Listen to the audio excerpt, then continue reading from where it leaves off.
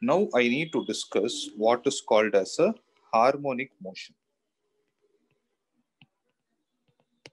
See, as of now, I'll give you the definition, just accept it.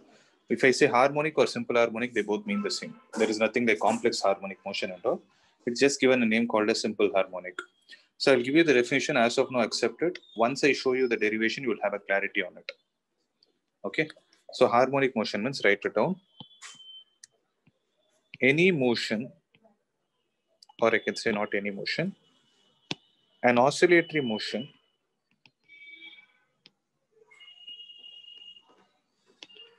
in which acceleration is always directed towards its center or towards its mean position.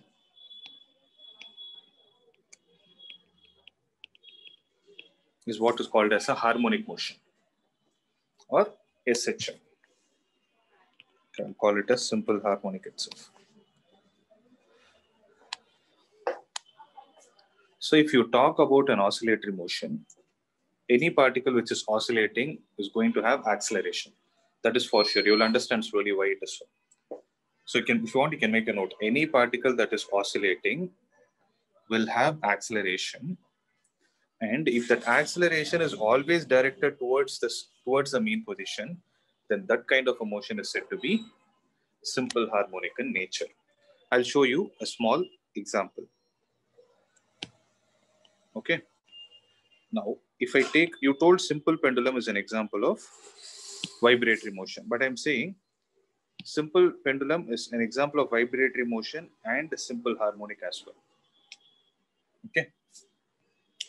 So if the particle, let's say there is a simple pendulum where there is a bob which is suspended by a string, it is going to lie at its mean position, correct?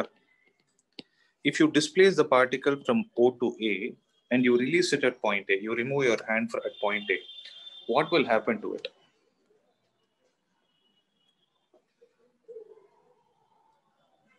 So what will happen to it? swing, sir.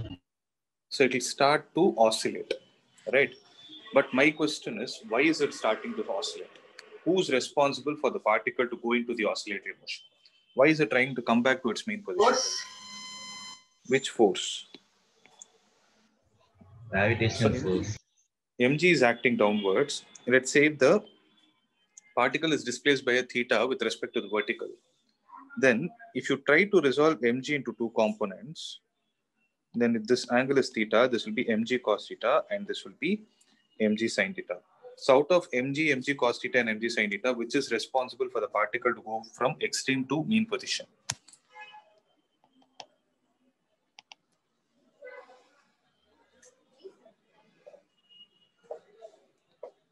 You think logically, you'll understand. The particle is moving in which direction? mg It is moving. theta. It is mg sin theta that is responsible for the particle to go back to its main position. Now see, the particle, see look at the arrow marks I'm going to use. The particle got displaced from O to A, but the force is acting from A to O.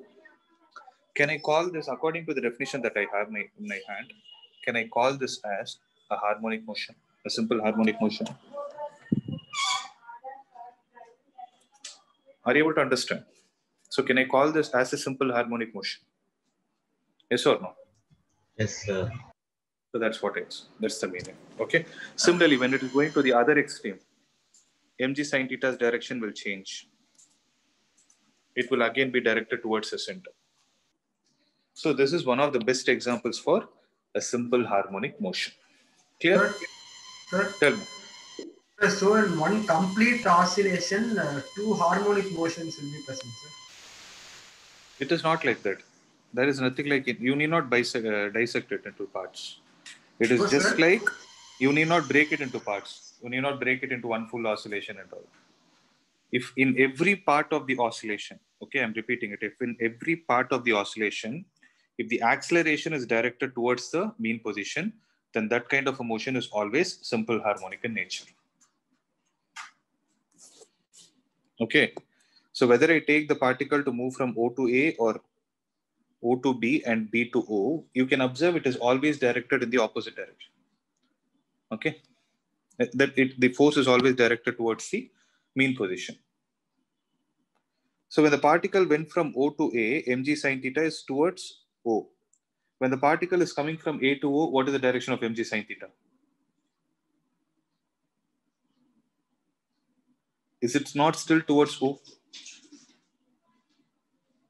Are you able to understand, guys? When the particle goes from O to A, what is the direction of mg sine theta? Towards O. Towards O. From A to O, it is still towards O only. Its direction didn't change. So throughout its journey, how many ever times it is, let's say it is oscillating 100 times. During those 100 times, every time you see, at every point, mg sine theta is directed only towards O. So can I call this as a simple harmonic motion according to the definition? Right. So mathematically, mathematically,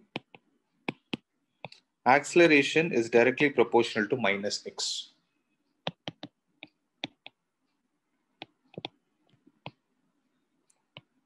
Negative of displacement. So A is equal to minus omega square x, where omega is called as the angular frequency,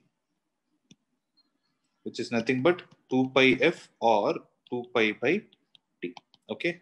So if anyone asks you the definition, then you need to say this. Any motion, any oscillatory motion in which acceleration is directed towards its center, uh, towards its main position. Similarly, if they ask you what is the mathematical condition for a simple harmonic motion, then acceleration will be equal to minus omega square x. Why it is minus omega square x, that also I will prove it. But as of now, have this point in your mind. It is then I can proceed with the next part of the chapter.